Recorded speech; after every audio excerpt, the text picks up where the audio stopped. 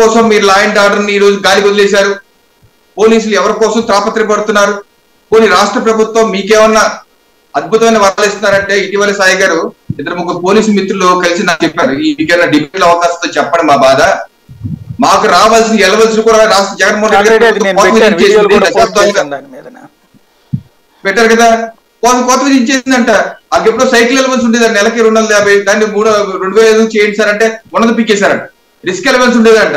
ఇది నక్సల్ ప్రాంతాలు పనిచేశారు అది కూడా పీకేశారంట. ఇలా బోర్డు పీకేశారు? పోలీసులకి ఏమొస్తుంది ఉన్నది పోతున్నాయి కదా. మరి మీ పరువు కూడా పోతుంది కదా పోలీసులు.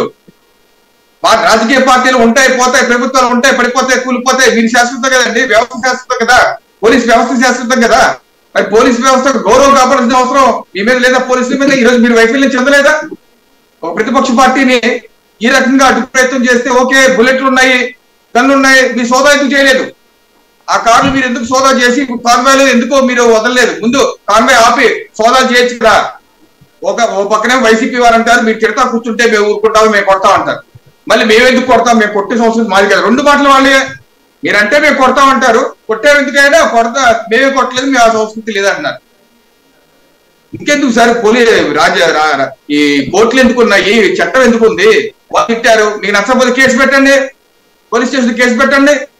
కోర్టుకి వెళ్ళి ఇచ్చండి అంతేగాని మీరే చట్టం మీ చేతిలోకి చేసుకొని వెళ్ళి పడగొట్టేసి వేస్తారు చేసి మళ్ళీ ఆ కార్లో బాంబులు ఉన్నాయి గన్లు ఉన్నాయి అంటారు. ఇది ఎవరో సమంజసం కాదండి. ఇది- ఇది ఏ ప్రజాస్వామ్యంలో సమంజసం కాదు.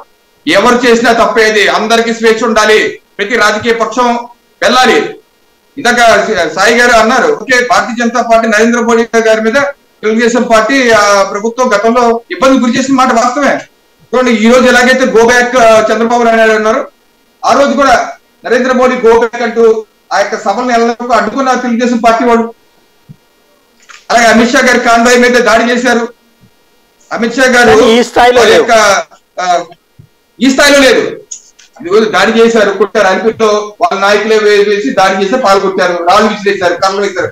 ఓకే దాని తప్పు జరిగింది తప్పు జరిగింది. కాకపోతే ఆ- రోజు ప్రతిపక్షాలన్నీ ఖండించాయి. జగన్మోహన్ రెడ్డి గారు కూడా ఏమన్నారు? ప్రతిపక్ష నాయకుడిగా ఇది చాలా తప్పు ఇది. ఒక ప్రధానమంత్రి వస్తే ఇలా చేస్తారా? ఒక జనరల్ సెక్యూరిటీ ఉన్నటువంటి జాతీయ పార్టీ అధ్యక్షుడు అమిత్ షా గారు వస్తే ఈ రకంగా చేస్తారా మీరు అన్నారు. అందరికీ ముద్దులు పెట్టి బొగ్గులు నరిమి ముద్దులు పెట్టి ఏం చెప్పారండి ఆ రోజు జగన్మోహన్ రెడ్డి గారు? నేను వస్తే దేశంలోనే నెంబర్ వన్